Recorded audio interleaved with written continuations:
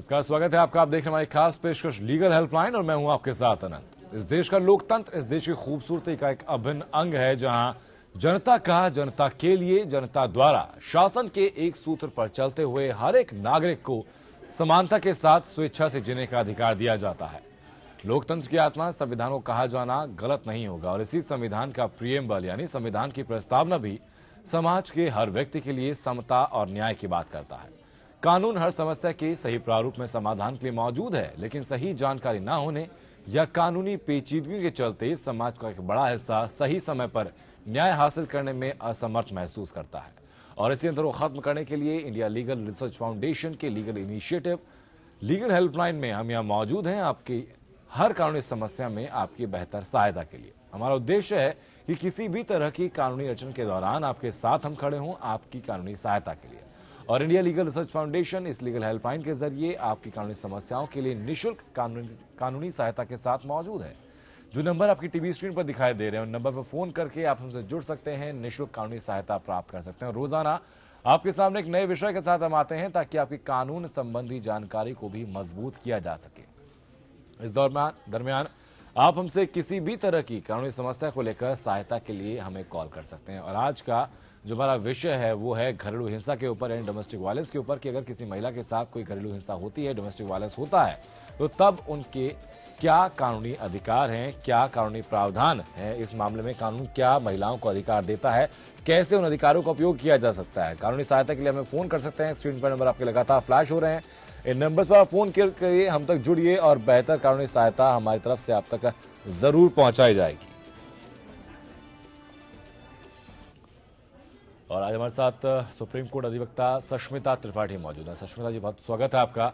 सबसे पहले मैं आपसे जानना चाहूँगा कि जब किसी महिला के साथ घरेलू हिंसा होती है, डोमेस्टिक वायलेंस होती है तो कौन सा कानून है जो उसको सुरक्षित, संरक्षित करता है? देखिए, पहले महिलाओं के साथ इस तरह होता था कि घर पे बैठे उनके साथ इतने अत्याचार होते रहते थे, वो इतनी प्रताड़ित होते थे कि आवाज़ उठाने के लिए भी उनके पास कोई ताकत नहीं था। कौन सहारा बनेगा? घर छूट जाएँगे, बच्चे छूट जाएँगे, बच्चे अपने आप पले बड़े कैसे रहेंगे? लेकिन ये 2005 से जो सुप्रीम कोर्ट ने एक कानून बनाया कि महिलाएँ जो घर पे रह के प्रताड़ित होते हैं, जो उसी अत्याचार का शिकार बने हुए होते हैं, उनके लिए एक कानून बना दिया गया कि आप आगे से इस समाज में पिछड़े वर्ग में नहीं खड़े हुए मिलेंगे सबको। और आपके लिए एक कानून बना दिया गया जिसके लिए आपको खुद आवाज़ उठाना पड़ेगा कि मुझे क्या क्या चाहिए। आपके लिए लड़ने वाला कोई नहीं है जब तक आप आवाज़ ना उठाएँ। इसीलिए सुप्रीम कोर्ट ने ये कानून बनाया जो जो महिलाएँ घर पे रहती हैं वो आगे आए और इस तरह एक कानून का सहारा ले जो प्रताड़ित हैं पति से सास ससुर से देवर से जेठानी से जो भी शेयर्ड हाउस होल्ड में लोग रहते हैं उनके द्वारा जो प्रताड़ित होते हैं उन्हीं के लिए ये कानून बनाया गया है हम्म। ताकि वो महिलाएँ आगे आए आवाज़ उठाएँ कानून में सहारा उनके लिए बाकायदा है। हम्म। लेकिन इस चीज़ को आगे बढ़ाने के लिए एक सपोर्ट भी तो ज़रूरत है। जो भी पढ़े लिखे हैं अनपढ़ भी इसी के साथ है। लेकिन यही इसी तरह एक मीडिया इस तरह एक चैनल के लोग हैं जो हम लोग यहाँ बैठे हैं आपको आगे आने की सहारा देने की हाथ पकड़ के इस कानून का सहारा दिखाने हम आपके लिए यहाँ पे आज बैठे हुए हैं ताकि आप आए और इस कानून का सहारा लें। इस मामले में क्या होता था कि महिलाएँ जो प्रताड़ित होते थे पहले वो क्या करते थे कि कोर्ट का सहारा लेते थे पड़ोसी को बोलते थे मम्मी को बोलते थे। इस कानून के तहत माँ भी बेटी के लिए एक केस लेके कोर्ट में जा सकते हैं। वहाँ पे क्या होता था कि केस करना पड़ता था बाकायदा उनको काउंसलिंग करनी पड़ती थी।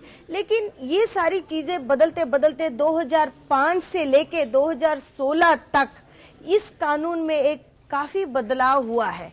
वो बदलाव क्या है कि जो। महिलाएँ घर पे रुकती हैं जो रहते हैं उन्हीं के लिए कानूनी अधिकार तो है कि आप कोर्ट में आओ जो भी घरेलू हिंसा से प्रताड़ित हो रहे हो आप इवन इफ़ अगर आपकी हस्बैंड आपको बुरे भले भी बोलते हैं जैसे कि आप काले हो तो बोलते हैं कि आप आप तो काले हो तो रोज ये टोंटबाजी करना भी आपके लिए एक बहुत गला मतलब गलत चीज़ें आपके लिए जो आपको तो बुरा लगता होगा ना?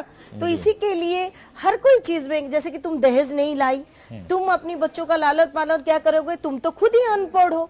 इस तरह बोलने से भी आप इंसान की मानसिक स्तर में काफ़ी चेंजेस होता है। और वो अपने आप को कंफर्टेबल फील नहीं करता कि मुझे क्या ज़िंदगी मिली है। मैं तो अनपढ़ हूँ मेरी शादी हो गई बच्चे हो गए पति तो रोज ताना मारते हैं बच्चे बड़े हो जाएँगे। मेरा कल को क्या होगा? क्या पति मुझे रोज ताना मारते रहेंगे?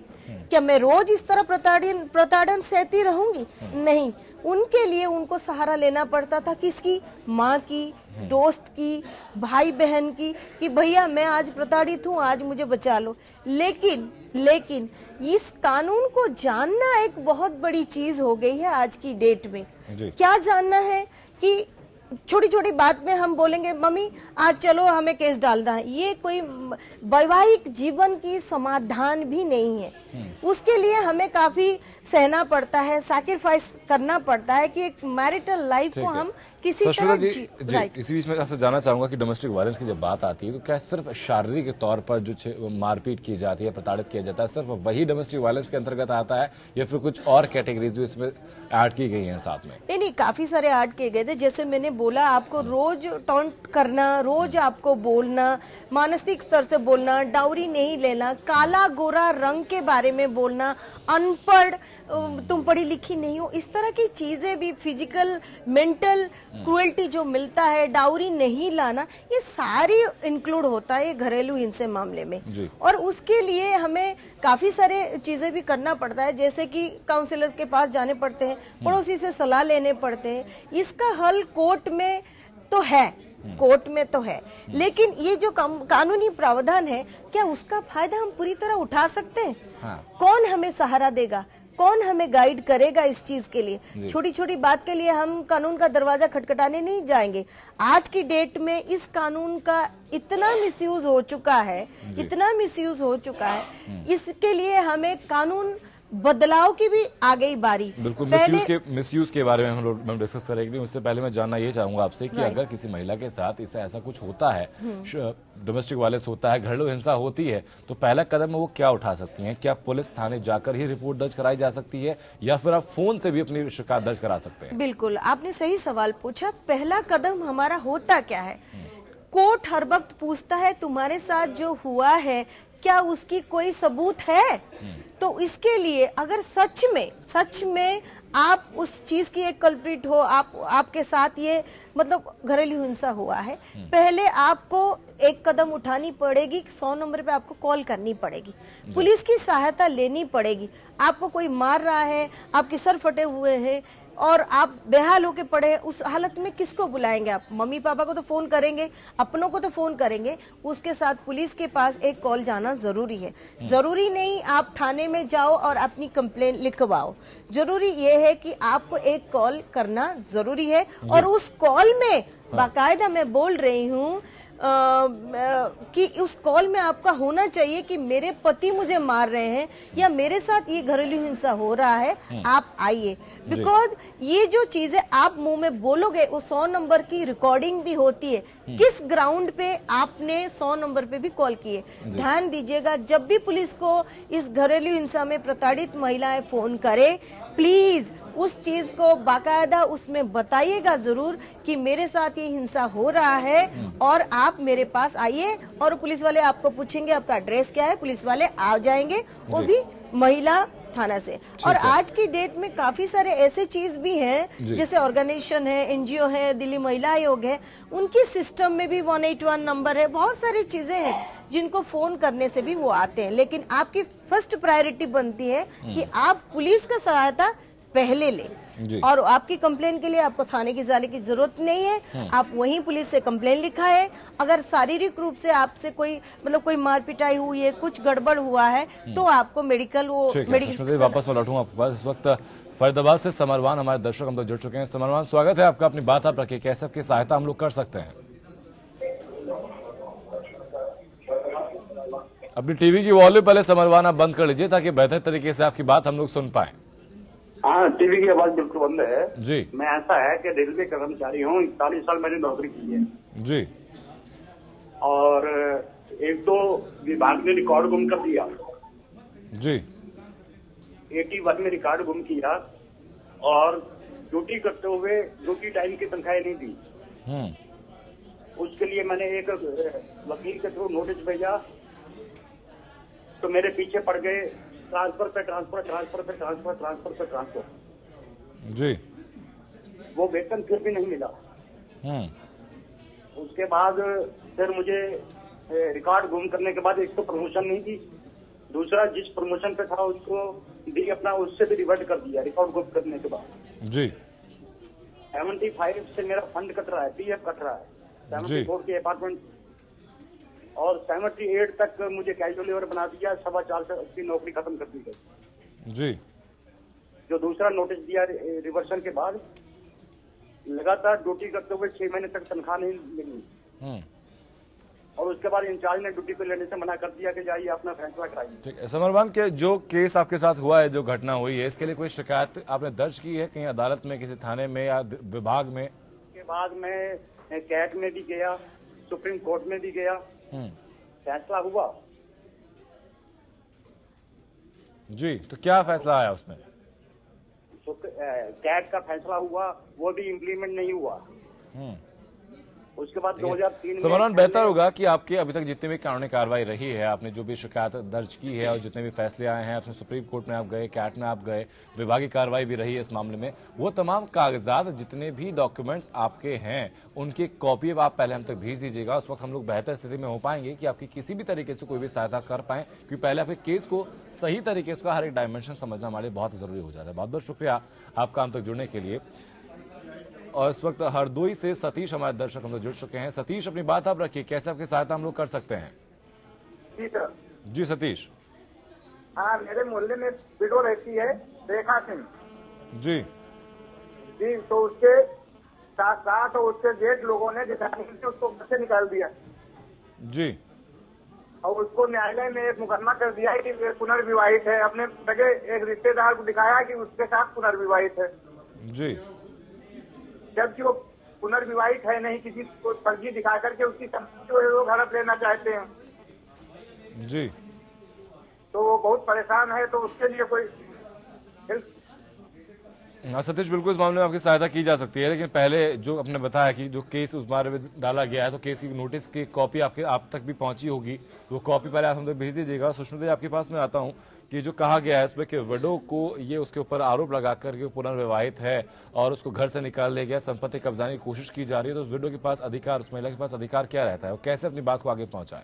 नहीं विडो के पास तो काफ़ी सारे रहते हैं लेकिन वो कानूनी प्रावधान के लिए उसकी केस को पर्टिकुलरली देखना पड़ेगा कि किस हालात में उसको बाहर निकाला गया है। जी। और प्रॉपर्टी का जहाँ तक है प्रॉपर्टी डिस्प्यूट तो वो अलग से कोर्ट में ही होता है। ये पहले देखना पड़ेगा किस हालत में उसको निकाला गया है। और उसके पास क्या क्या राइट्स है जब तक ये डॉक्यूमेंट्स इसके पास नहीं देखा जाएगा विडो राइट्स के बारे में थोड़ा बहुत बोलना आपके पर्टिकुलर एक इट्स इट्स पर्सनल केस आपका जो है वो एक सेपरेट केस बन जाता है। उसके लिए कानून में प्रावधान है ये आपको मैं दावे के साथ बोल सकती हूँ। आप ये पेपर्स वगैरह जो भी है जो भी डॉक्यूमेंट्स इनके पास है ये तो एक ऐसा चैनल है मैं पहली बार देख रही हूँ कि यहाँ कानूनी सलाहकार भी हैं मदद करने वाले भी हैं।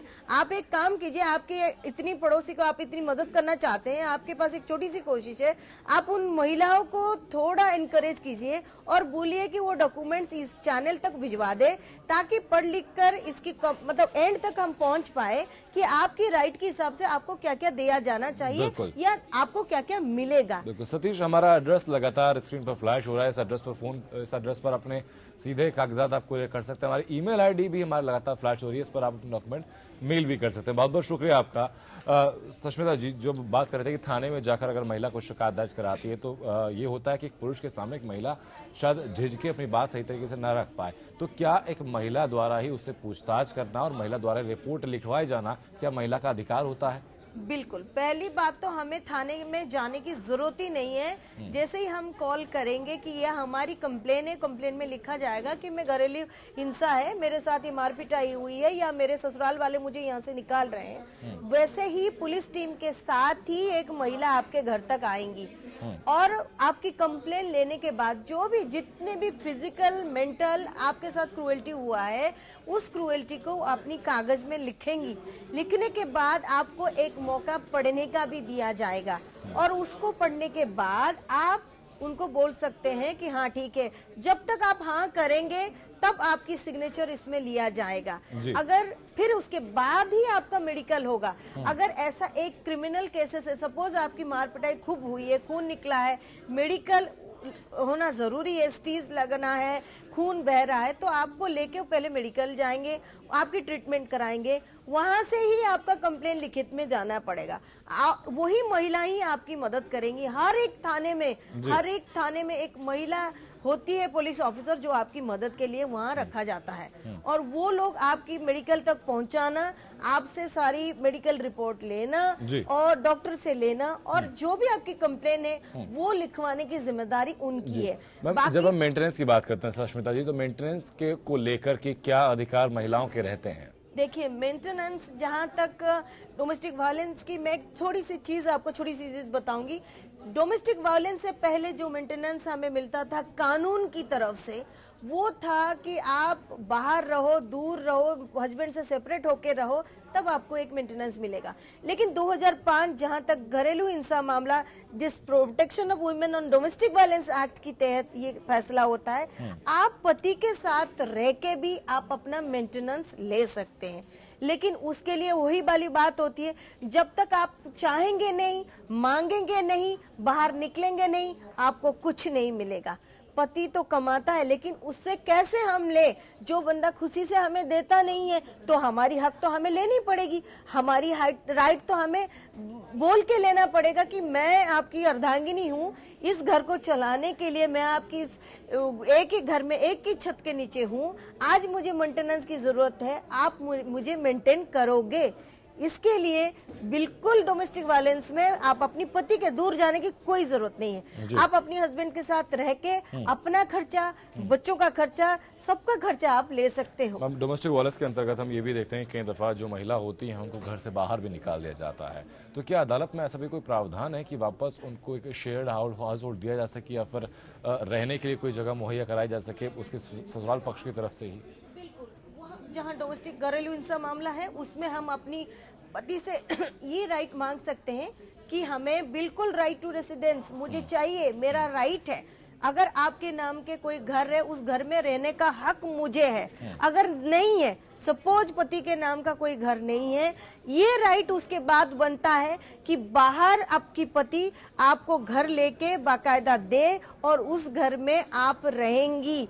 और रहने के बाद उसका खर्चा घर का खर्चा घर का भाड़ा या फिर परचेज किया हाउस की राइट जो भी बनेगी वो आपके लिए बनेगी वो आपके लिए ही होगा। ठीक है मैम एक रेस्टिट्यूशन ऑफ़ कॉन्जुगल राइट्स के बारे में हम पढ़ते हैं इसमें कि वो दरअसल मैं समझना चाहूँगा कि क्या होता है इस चीज़ पर। देखिए इसका दोनों तरफ़ का किस्सा है। Restriction of conjugal right that is on Hindu marriage act ये एक्ट ही अलग है लेकिन इस चीज़ में ऐसा है इसका एक यूज़ भी है एक एक मिसयूज भी है। रेस्ट्रिक्शन ऑफ़ कंजुगल राइट में क्या होता है? Section nine of Hindu marriage act में हम रेस्ट्रिक्शन ऑफ़ कंजुगल ज़्यादातर आजकल क्या होता है कि पत्नियाँ तो पहले करती थी कि मैं माँ बाप के घर पे मुझे छोड़ रखा है मुझे लेने के लिए आ, या आके मुझे ले जाओ वो भी कानून के हिसाब से। ऐसा नहीं घर वाले बैठ के फैसला कर दिया। कानून की नज़र से जो भी टर्म्स एंड कंडीशन हम लोग के बीच में होगा जो। भी प्रताड़ना होगा वो सब बाहर निकालने के बाद मुझे आप घर लेने की लिए आओ। लेकिन आजकल ये है तो ये तो यूज़ है। पहले तो इसकी फ़र्स्ट यूज़ होता है कि लेडीज़ पहले करते थे मेरे पति मुझे लेने नहीं आते। कानून मेरा सहारा बने और मैं अपना घर जाना चाहती हूँ। नाउ डेज़ ये क्या होता है? ये मिसयूज हो गया है। पति पहले तो पति को बाहर से निकाल देते हैं मायके भेज देते हैं। जैसे ही दो तीन महीना हो चुका उन्होंने एक दिमाग से लगा दिया कि रेस्ट्रिक्शन ऑफ़ कंजुगल राइट क्योंकि एक लीगल प्रोसीजर इससे स्टार्ट हो जाता है कि सेक्शन नाइन मैं अपनी पत्नी को लेना चाहता हूँ वो आना नहीं चाहती।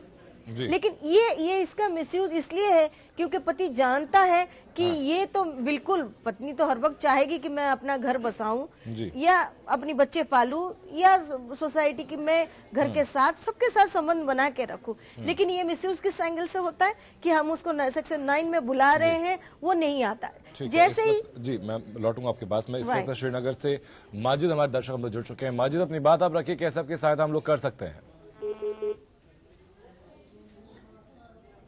अब तक आवाज़ माजिद पहुँच रही है हमारी।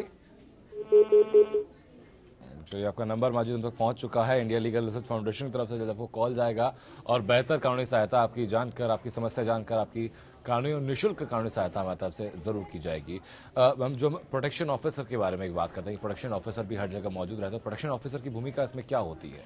एक डोमेस्टिक वायलेंस में एक प्रावधान है, जैसे ही कोई महिलाएँ प्रताड़ित होते हैं, घर के अंदर, घरेलू हिंसा के तहत वो तुरंत जाके क्या करते हैं एक केस डाल देते हैं। केस डालने के बाद उसमें जो महिला कोर्ट के अधिकारी होते हैं जो जज साहिबा होती हैं वो क्या करते हैं ना एक प्रोटेक्शन ऑफिसर को आपके साथ अपॉइंट कर देती है। उस प्रोटेक्ट वो ही एक्ट के अंतर्गत है मैं ज़्यादा सेक्शंस वगैरह नहीं बोल रही हूँ बट इसकी प्रावधान है आप खुद याद नहीं रख सकते। तो ये प्रोटेक्शन ऑफिसर के क्या काम होता है वो पढ़ी लिखी होती है और वो आपकी मदद के लिए कोर्ट उनको अपॉइंट करती है कि क्या क्या इनके साथ इस महिला के साथ जो भी घरेलू हिंसा हुआ है जो भी प्रताड़ना इसको मिला है क्या ये सच है?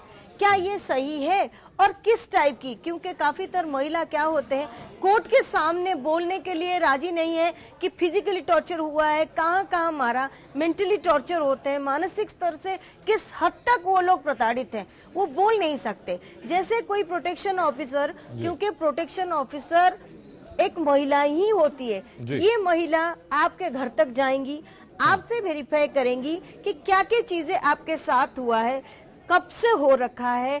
क्या इस चीज़ में किसी अड़ोस पड़ोस से पता चला है? किसी घर वालों को आपको पता है? आपने इंफॉर्मेशन दी? हाँ। ये सारी बातें। और इस चीज़ की प्रोटेक्शन ऑफिसर की जो हाँ। कोर्ट अपॉइंट करती है हाँ। इसकी भी एक दो पहलू होती है। क्योंकि लॉ जहाँ पे बना है फॉर द यूज़ ऑफ़ आप उसको यूज़ करना सीखो यूज़ कैसे करोगे और उसकी बेनिफिट लेने के लिए। Those who are genuine person. जो लोग सच्चे हैं जो सच में प्रताड़ित हैं हाँ। उन्हीं के लिए जानने के लिए प्रोटेक्शन ऑफिसर हाँ। जानता है। यानी प्रोटेक्शन ऑफिसर इन्वेस्टिगेशन में एक इम्पोर्टेंट रोल प्ले करता है और महिला के साथ जो जस्टिस होना होता है उसके लिए भी बहुत इंपॉर्टेंट की होता है। बहुत चलिए। बहुत बहुत शुक्रिया सुष्मा जी आपका इस शो में शामिल होने के लिए बेहतर जानकारियाँ इस बारे में महिलाओं को देने के लिए और ताकि वो सशक्त रूप से महिलाएँ अपना जीवन यापन कर सकें। इंडिया लीगल सर्च फाउंडेशन की इनिशिएटिव, लीगल हेल्पलाइन का एकमात्र उद्देश्य यही है कि समाज के हर वर्ग के वो लोग जो किसी ना किसी समस्या की वजह से सही समय पर न्याय हासिल करने में असमर्थ महसूस करते हैं। उनके लिए हम यहाँ मौजूद हैं। आपकी हर तरह की कानूनी समस्या में आपकी बेहतर और निःशुल्क कानूनी सहायता के लिए। नमस्कार।